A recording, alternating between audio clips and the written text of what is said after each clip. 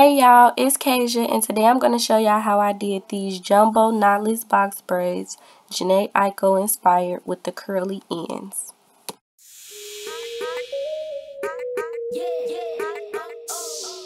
Okay, so for this style, I use four packs of Expression Hair, Extra Hold Jam, Red Tail Comb, Nairobi Foam and Mousse, the Gray Flexi Rods, and a tea kettle. This is, the Expression Hair is extra long, so you know, of course I'm going to be cutting it in half. Um, you could use pre-stretched hair if you like. That's not my preference. I like my braids to be full and thick all the way through.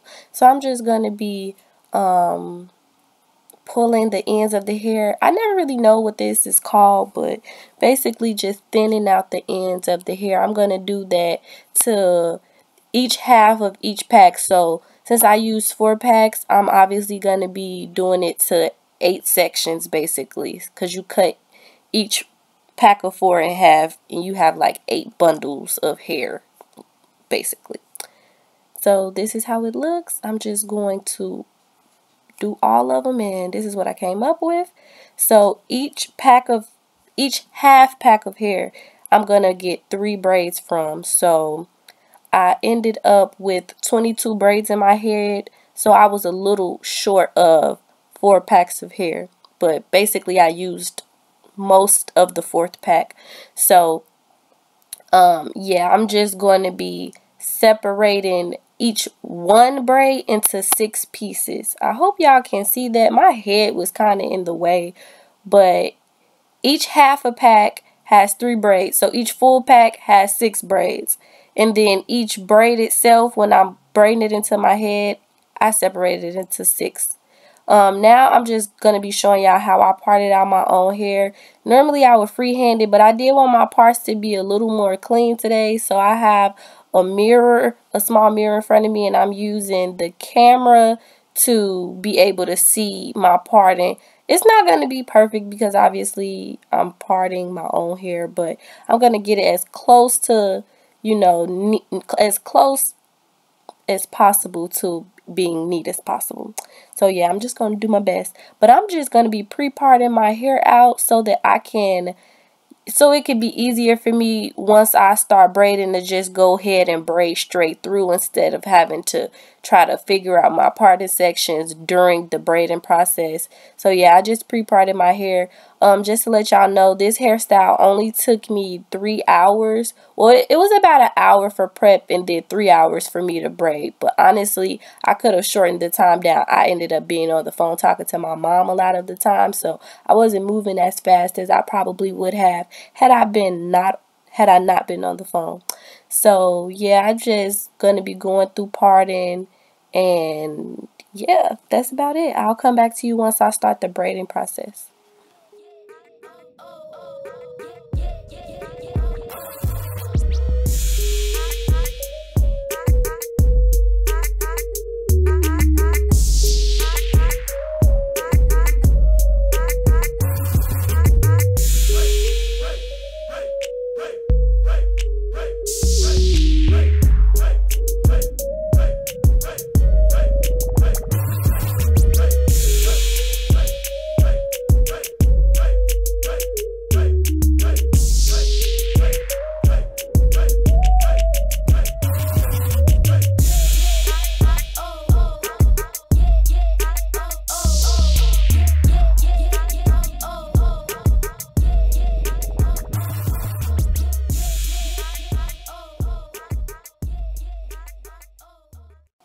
Okay, so once you finish parting all your sections out, you're going to take that one piece in the back that you're going to start with and you're going to slick it up with your jam or edge control of choice. I decided to do jam because it's soft.